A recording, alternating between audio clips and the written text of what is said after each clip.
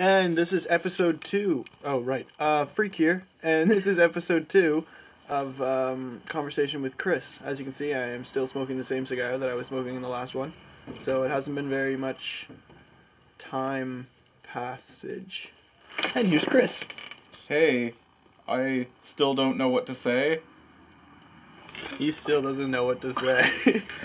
DJ has just moved his car and we're still smoking this. Well, he's smoking a cigar. I'm smoking a cigarette.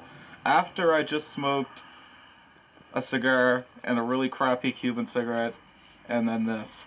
And so if you don't think I'm retarded now, well, let me tell you.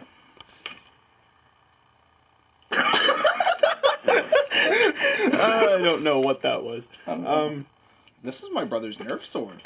yes, yes, it is. He uses it to uh, nerf around and hit people. Uh, and it's extremely fun to play Nerf sword basketball, which is pretty sweet. It's actually pretty long. It's a game we made up the other day.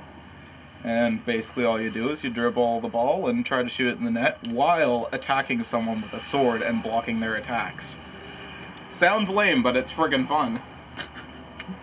My cigar went out, so I'm just gonna smoke it later. That's the second time. Yeah, that happens. Yes. Anyway, um, so we'll catch you later at some point. Yes, uh, yeah. With See uh, conversation with Chris. See ya. It's another time. See ya.